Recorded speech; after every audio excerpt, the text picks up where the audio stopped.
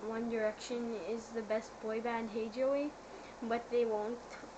When they're all 30, they'll be like, every day.